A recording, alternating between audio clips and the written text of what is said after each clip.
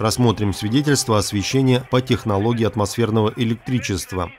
Тут мы видим съемку на плохой телефон в каком-то индийском или азиатском городе. Это освещение на принципе атмосферного электричества. Мы воочию можем увидеть, как это работало. Яркость сильнейшая. И это очень сильно похоже на старинные фотографии иллюминации 19 века.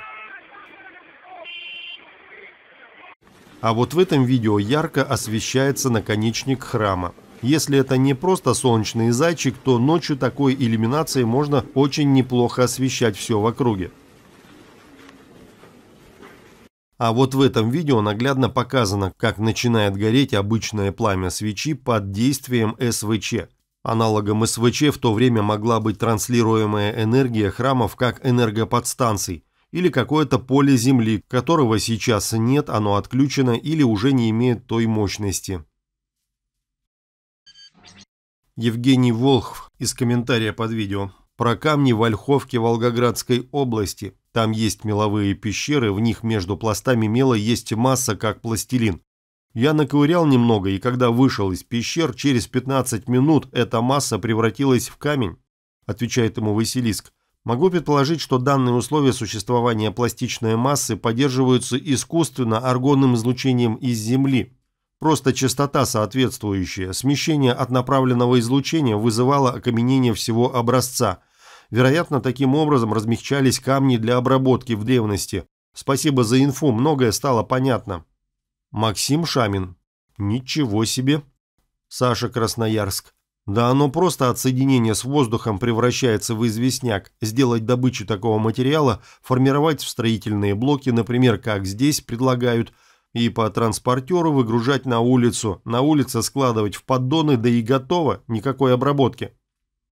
Еще можно добавить, есть такое предположение на основании материалов матрицы информационного развития, смотрите на канале, как строились античные города от элементов конструкций до сложнейших статуй. Специальные строительные виманы загружали из земли именно такой материал, поддерживали его в пластичном состоянии вот таким, условно говоря, аргонным полем, или какой-то частотой и по компьютерным шаблонам выдавливали 3D-фигуры любой сложности. Причем оператор мог вносить свои изменения. Работали они по разнарядке, со строек поступали заказы и модели конструкций, которые нужно было изготовить. Подлетали, выдавливали. В общем, эту тему нужно развивать, зная, какими технологиями тогда располагали строители, делая выводы из реально построенных античных городов. Фима. Доброго времени суток. Хочу поделиться мыслью. Есть такая поговорка, можно на нем ставить крест. Например, был человек золотые руки, но что-то случилось, спился со всеми вытекающими. Про него и скажут, на нем можно ставить крест. Вроде как имеется в виду, что человек совсем пропал, почти умер для окружающих, для своего ремесла. И крест подразумевается стоящим на его могиле. Также можно сказать про какое-то начинание, которое было заброшено и уже не завершится. С тем же смыслом дело можно похоронить. Однако можно предположить, что такое выражение могло возникнуть во времена, когда с храмов начали снимать что-то там раньше было установлено и водружать кресты. Возможно, смена символики совпадала с изменением назначения строения. Как бы раньше храм был функциональным строением, а после установки креста стал просто объектом религиозного культа для совместного моления.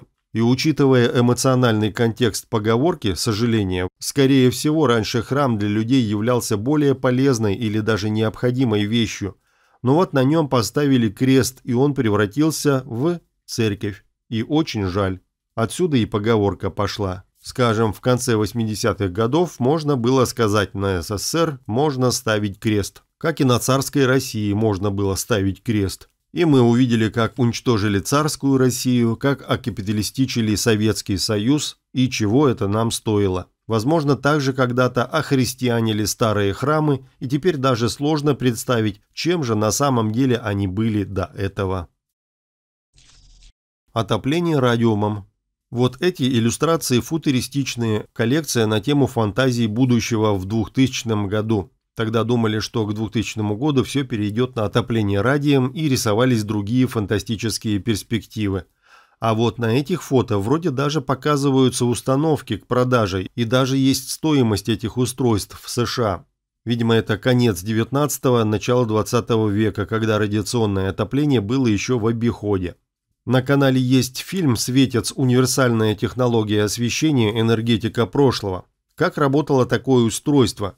В специальный металлический пенал вставлялся радиоактивный стержень, радиация которого на самом деле была безвредной для человека, и устройство начинало нагреваться подобно тому, как если внести металлический пруд в электромагнитное поле – которое создает в нем токи Фуко. Это вихревые токи, электромагнитная индукция, ну а здесь бомбардировка металла частицами радиоактивного полураспада.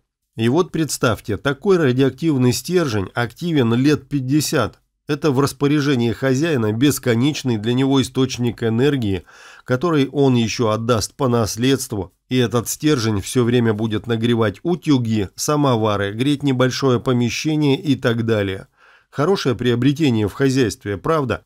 И очень плохие вещи для глобального управления. Человек в составе семьи с этой штукой становится вполне себе автономным энергетически. И теперь понятно, почему вдруг все виды радиации стали опасными, как и, например, ртуть внезапно в начале 21 века. Альфред Олегович Коротко о размерах кораблей прошлого. Обычный флаг одного из испанских судов, участвовавших в Трафальгарском сражении 1805 года. Здесь на ум приходит одна мысль. С таким флагом смогли бы управиться только гиганты. Разве если что, люди обычного размера использовали его в качестве паруса. Но примеров использования флага в таком качестве что-то я не припоминаю. А вот еще грязевое наводнение в Пакистане. Тут наглядно показан результат процесса, что мы называем засыпание грунтом в результате потопа. Тут прошел водный поток и территорию очень ровненько занесло песком, примерно на полэтажа. Масштаб был локальным. Селя как такового не было, глины не было, поэтому все выглядит гораздо аккуратнее и очень скоро по всему этому наносу можно будет ходить. Сылом жидкой глиной такой фокус бы не прошел, как это случилось во время мирового потопа, поэтому смертность в те века должна была быть максимальной. Написал Виктор. Был в путевом дворце в городе Тверь и увидел там интересную икону. Может, конечно, покажется, что маленькие люди просто стоят ближе, но они чуть ли не на ногах больших людей стоят. Там есть еще подобные картины, но надо не мельком смотреть, а рассматривать детально. Да, тут есть три размерности. Гиганты 2,5-3-метрового роста, которые есть и сейчас, и вот шестиметровые, под которых было построено множество помещений по всему миру с гигантскими дверями. Надо еще заметить, что сверху иконы ангел приносит святому гиганту какой-то сверток. Интерпретаторы сказали бы, что это благая весть. Видимо, это какое-то специальное техническое устройство или что-то в этом роде. Здесь святой гигант есть наместник новых хозяев на Земле, внедряющих новый мировой порядок после захвата Земли высокотехнологической технократической цивилизации. Это я показывал раньше в фильме расшифровкой библейских картин и иллюстраций. Вот в этой новости говорится о том, что шерстистый носорог, как и мамонт, обитал здесь десятки тысяч лет назад. В Пензе на строительной площадке обнаружены останки древнего животного. Шерстистый носорог, современник мамонтов, обитал в этих местах десятки тысяч лет назад. Когда где-то на крайнем севере, в Сибири, находят мамонта того же вечной мерзлоте, так съезжаются все крупные ученые, которые занимаются фауной ледникового периода из Канады, из Японии. По анализу почвы ученые установили, что животное погибло примерно в эпоху оледенения. Целый скелет говорит о том, что вероятнее всего носорог погиб не от рук охотника. Теперь нужно извлечь его из почвы. Работа кропотливая и сложная. Глина тяжелая и важно не отломить вместе с твердой породой части скелета. Носорог погиб не от руки охотника, глина тяжелая, и опа, глина, перемешавшая зверей и растительность, селевые слои в срезе грунта, вот что мы тут видим. Разумеется, на это археологи не обратили никакого внимания но для нас это является очередным свидетельством потопа XIX века, разумеется, а не десяток тысяч лет назад. Прислал Савин. Это вот такая интересная книжка американского альтернативщика, в которой раскрывается, как на самом деле строились пирамиды при помощи левитации. Я бы, конечно, с радостью поверил бы, что вот эти вот древние египтяне, фараоны, могли бы, используя левитацию и бла-бла-бла, Конечно, надо отдать должное, американские граждане, не обремененные с 90-х годов выживанием, получили время на то, чтобы разобраться, что с историей что-то не так, и первыми подняли волну альтернативного подхода к исторической реальности. Но для наших американских коллег есть границы, которые они перешагнуть не смогут, чтобы двигаться дальше. Мы уже не раз рассматривали, что фараонов выдумали в XIX веке, создав карго-культ для сокрытия свидетельств прошлой и совсем не американской цивилизации. Вот еще интересная мысль от Савина. Кстати, про видео, что конец света снится многим. Раньше часто снились планетарные катастрофы, очень красочные и с полным погружением в сомнамбульную реальность, даже с получением эмоций, а весь прошлый год снились сны именно про ядерный конец света и зачистку людьми в черных спецкостюмах, и это применительно к нашему времени. Но вот после начала СВО в Украине все сны из этого направления пропали, как будто их отключили. Может, на эфирном плане тоже передел сфер влияния происходит. Мне приходит на ум, что Савину снились картины вероятного будущего, и что пугает, по сценарию все шло к ядерной глобальной войне. Но начавшаяся война на Украине каким-то образом стравила пар, изменила вероятностные события, и теперь все пошло по новому сценарию, без очередного глобального апокалипсиса. Вот и думай, столкновение России с Западом на территории Украины – это катастрофа или все же благо для человечества? Денис репостнул от Александра Розова. Фото 1888 года. Вес Эйфелевой башни более 10 тысяч тонн, то есть 10 миллионов килограмм. Чтобы выдержать такой колоссальный вес, нужно было бы залить и такой же колоссальный фундамент. Но посмотрим на него и видим остатки допотопного здания. На это указывают кирпич и остатки арок, торчащих из земли. Естественно, эти свидетельства закрыли, скрыв остатки допотопной архитектуры. А теперь представим, какое циклопическое здание в древности могло стоять на этом месте. А может, та самая Вавилонская башня, которая стремилась в небо? И второй вопрос, куда же делись мегатонны железа, доставшиеся нам от прошлой цивилизации? Так вот, сюда и делись, вложены в подобные металлические конструкции. Только она одна 10 миллионов килограмм. Прислал Игорь. Перевернутые кресты рядом с храмом. Храм Успения Пресвятой Богородицы, Москва, 1856 год, середина XIX века. Ж-образные кресты явно функциональны, и даже христианские кресты выполнены как некие резонаторы с шарами и накопителями. Какой смысл могут иметь перевернутые кресты над балконом? Это что, богоборчество, поклонение сатане? По крайней мере, так в фильмах показывают или тоже несут функциональный смысл приема или передачи энергии сигнала, резонатор, антенна и так далее. Вопрос интересный. Кинули в чат телеграм-канала «Новая реальность». Как дополнение к видео на YouTube-канале проект «Стерео. Подглядываем за старшими». Шарообразный объект, ранее незамеченный у Солнца. Автор видео, рассматривая странное торнадо на солнце, заподозрил, что это делает тот же шар или его братишка, прилетевший насосаться халявного термояда. И, поиграв фильтрами, яркостью действительно обнаружил знакомые очертания. Если солнце имеет миллион четыреста километров в диаметре, то размер такого шарика должен был быть в десятки, если не сотни раз больше Земли, что маловероятно. Если Солнце относительно недалеко от Земли и не такое большое, то объект в диаметре всего-то, в кавычках, конечно, в несколько десятков или сотен километров. Такое еще мы представить себе можем.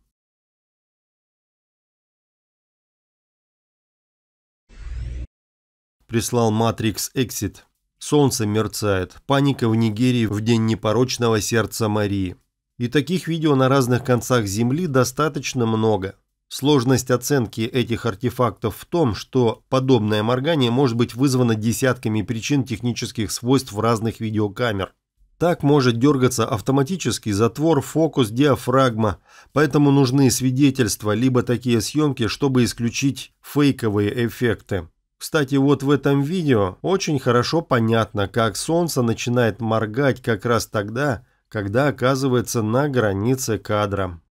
А вот такое удаление и приближение Солнца на крайнем севере или наоборот юге вместо заката наводит на мысль, что Солнце просто улетает вдаль, уменьшаясь в размере, как если бы оно было не очень большим, а Земля была плоскостью. И такое видео не одно.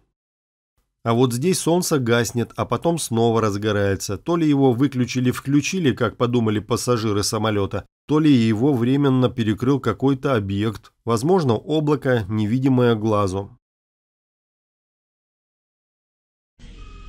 Дмитрий Иванов.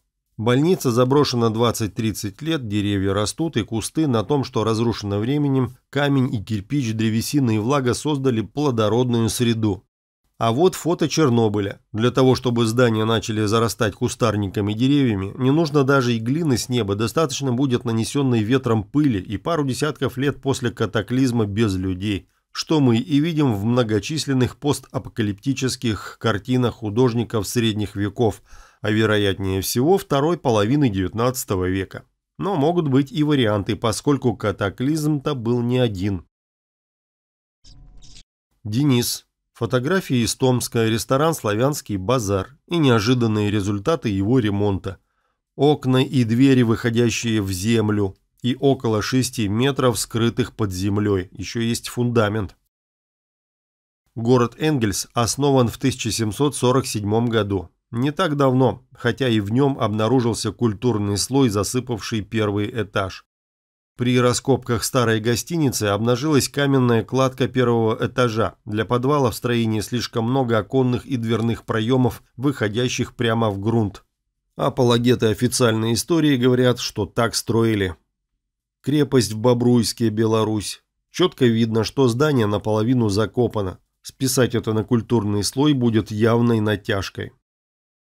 Самир Халивов Удивительный факт. Большинство крупных городов-столиц располагается по окружности колец. Центром колец является местность между городом Владимир и Суздаль. Также на кольцах располагаются крупные города, такие как Архангельск, Пермь, Уфа, Волгоград, Донецк, Днепропетровск, Челябинск, Атырау, Львов, Стамбул, Кокшетау, Турин и многие другие города поменьше.